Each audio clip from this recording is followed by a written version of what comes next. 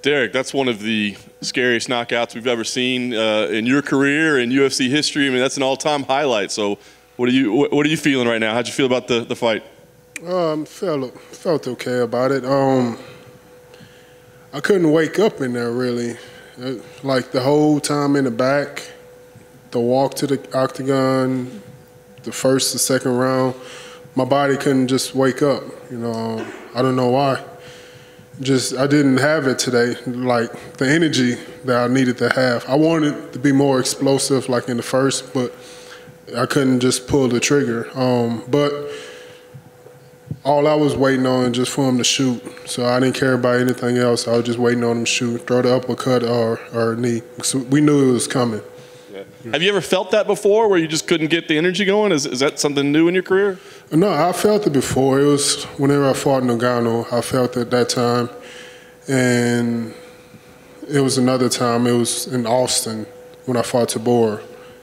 Um, yeah, it happens off and on. You know, it's nothing. I'm pretty sure it's nothing you can prepare for. So, yeah so I, I, as I was watching the first round play out, I mean, were you surprised as game? Like you said, you knew the takedown was going to come at some point, right? But mm-hmm. were you surprised he did stand with you as much as he did?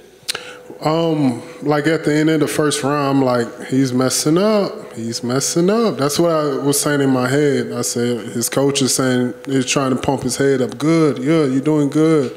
And I'm like, all right, keep playing that game. That's what I was saying to myself. I said, okay. The second round came, and I kind of figured that he was trying to, he was going to come out and do the, stand up a little bit. Then he was going to try to shoot. So I just knew I had to just be patient. Did you know, you know, kind of planning that the uppercut was going to be the shot? We have. That's my coach, um, Joe Murphy, and um, Robert Crew, uh, Hendo, Henzo, Hondo. and that's what we've been drilling um, all month, really 12 weeks, really, trying to get prepared for this guy. So I got to ask you about the eye pokes, right? There was one at the end of the first round, and then it looked like maybe there was another one in the second, and you kind of gave a look to Herb, like, "What's what's going on here?" So I mean, yeah. Then he said it was my hand. I'm like, "Nah, I didn't poke him. He poked me, but it's all good though." Did it bother you at all? I mean, was your eyesight impaired at all, or did it, were the pokes bad? Um, actually, my eye it was bothering me a little bit. I think he eating Cheetos before the fight, so I got a little Cheetos in my eyes right now. Yeah, don't want to do that, man. Like, uh, all right, you, you, hit him with the uppercut. He goes out cold. You jump down with two more punches. Uh, was that something uh, a little bit personal there? Was that sending a message to Curtis that he, had he upset you? No, it's like I can't just turn the switch off just like that. I know some fighters could do that, but I can't do that. I gotta wait until the referee pulls you off him because you never know what happens. Anything could happen. He could turn into Stone um, Undertaker and sit straight up and eat all those shots. So you never know. We got to keep going to the referee say, "Hey, chill out." Yeah. And then I got to ask you about two things you said afterwards. First, you, you pointed to Curtis. You said that's Herb Dean's fault. So is that like, are you saying that he got you mad with the eye poke thing, or what happened? No, because the, his corner, his coaches was talking about that was bullshit, and I was saying that's not my fault. That's Herb Dean's fault. You know, uh, I'm gonna keep fighting until the referee pull you off. That's with anyone, and that's the same thing gonna happen to me. You know, so I'm just keep fighting until the referee say stop. So and then the other statement you made was, I believe, I'm the black beast, not the black bitch. Uh, you heard that. Huh? Look at you. You couldn't wait for that to ask me that. You're right. I could. Who was that directed to? I'm directed to everybody that's thinking they're going to come in here and get an easy paycheck, you know. And I want Overeem next. You know, I like I said earlier, I'm already greased and oiled up for him, so we ready. Yeah. I like it. I was going to ask, so when would you like to see that happen? Soon as possible. You know, as soon as he passes concussion protocol, whatever his suspension, whatever he got, that'd be soon as possible. But I would like a three round fight. You know, just just cause I don't want five rounds. Yeah. But I'd like to give a shout out to Grindhouse, um, Alyssa.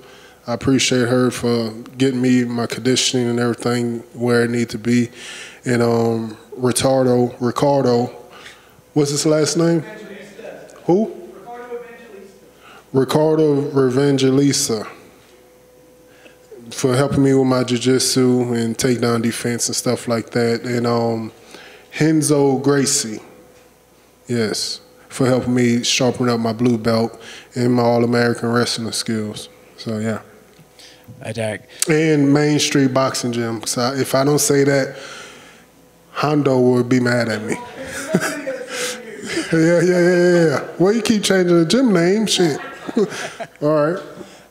you know, there's talk of like you or Curtis could have just gone to wait for a title shot, but you want Overeem next, who's actually just lost a fight. Is it just that personal with you that you don't care he's had a loss? Yeah, I don't care. He got he, he had a couple of losses in a row. It's it'd be cool to just to fight him because he's a so-called legend. So it'd be cool to, um, to fight somebody like that. And also, he been talking trash. You know, he's saying that that his teammate Curtis would cut handle his lightweight and stuff like that. And he'd been we've been trying to fight him for years, and he turned down the fight four times already. Isn't that right, Hondo? Yes. So. Do you think he'll take it now? Um, he might take it. He's been hit in the head a couple of times, so he might might forget all about what happened tonight. So he can probably take it. Did you say that you're oiled up and ready for him? Yes, the clapping cheeks. Yes, no homo. Maybe he won't take it then. Well, he probably take it. He from Netherlands, so you never know. Them guys out there, they stay high. Congrats. You say you say you only won three rounds. That means you maybe wouldn't be a main event. Would you really not want a main event for your next fight? No, I don't need no main event. I don't deserve a main event. Why you say that? I don't want to go five rounds. Oh, I hate five rounds, man. Five rounds, really, my body is like, man, all right, keep on fucking around. We're going to retire on your ass. But, man, we can't do five rounds. I hate five rounds. He seemed like he was really focused on trying to hurt your your front leg. And how were those leg kicks? Did it, it look like there was some swelling? Did that start affecting your your your stance, or your power, or anything? Oh, not at all. No, um, shit, he was really waking my legs up. Like I said earlier, I couldn't get it going anyway, so he was really helping me out. And, um, no, the legs kicks didn't bother me at all. And I'm sure you played the fight out in your head multiple times. But how closely to what played out there is what you envisioned that that would happen in that fight? Um, the uppercut. The uppercut. We talked about that he's gonna try to kill my lead leg because that's what all wrestlers do whenever they're fighting um, a striker, try to take out the power. And so we knew he was gonna do that, and we knew he was gonna play the game and try to stand up. Um, he just did everything we knew he was gonna do. It's nothing that he did that surprised us at all. If you keep knocking guys out, how are you ever going to progress beyond a blue belt? You know, what's what's the plan to get beyond the blue belt? Um, I would like to do the um, the Chael Sonnen thing. What is what is it called? Submission grappling stuff. Submission, submission on the ground. Yes, Yeah. I, would- would like to do that and show everybody my blue belt skills. You know, yeah. Sounds good. Do you have a message for uh, Houston, the people in Texas, before you go back? Um, I'm understanding the reason why it was so cold in Houston because my hot balls was in there the whole week. yeah, I was freezing. So I'm coming back tomorrow. So the news did say it's supposed to be 70 degrees tomorrow. So we looking up. Thanks, Derrick. Yes. Uh, you mentioned uh, uh, in the post-fight interview about uh, being open to welcoming Jon Jones to the heavyweight division. It doesn't matter who. I'll fight anyone. It doesn't matter who they are. You know, I wouldn't fight no woman, but any any guy any guy could get it. I don't care who it is. Uh, but you would like to fight Jon? I would fight anyone. Yeah, anyone. I will say, when you took your gloves off there, you got the internet sort of talking and worrying that you were going to walk away. Is that just just something to do while you're waiting for the for the, the your arm to get raised, taking the gloves off? I always take my gloves off. See, that's that's a casual right there because I always take my gloves off after a fight. I usually throw them in the stand, so I usually just take them off anyways. So what'd you do with them tonight? I'll put them in my bag. Oh, okay, Yeah, I'll probably give them away to some homeless guy. Mm-hmm. fair enough. Mm-hmm. Hey, Derrick, it was just confirmed that you got the bonus as well. I don't know if there was much doubt in your mind that you were getting the bonus, but uh, what, what do you plan on doing with the extra 50K?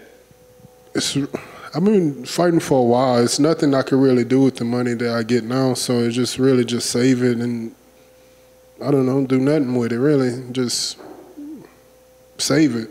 It's it. not nearly as exciting as I thought it'd be. I know. Right? Sorry. Anyways, hey, I got somewhere to go after this, so don't just try to think about some stuff to ask me. Y'all had all night to ask me a question. Nah, I y'all literally- finished? No, I literally was going to ask you where's the after party. No, you can't come to the after party with that shirt on. No. no. Can't tell you what after party at. thank you, thank you.